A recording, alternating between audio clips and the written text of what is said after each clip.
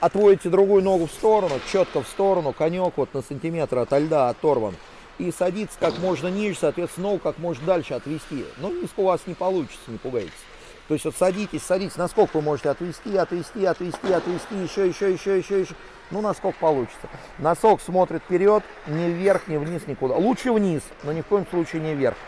Э, и не от себя, вот четко вперед вот от висячая. Нога прямая, ну не, не напряженная, в тонусе такая, не деревянная, но и не висеть как сосиска. И отводите аккуратно, аккуратно, аккуратно, медленно. Вот прям как я показываю. Медленно, медленно, медленно, медленно, медленно.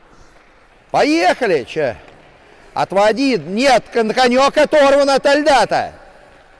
Сань, носок вперед. Еще ниже, еще, братец, проваливаешься-то. Не надо. Не проваливайся. Не назад, а в сторону. Да-да. Еще ниже.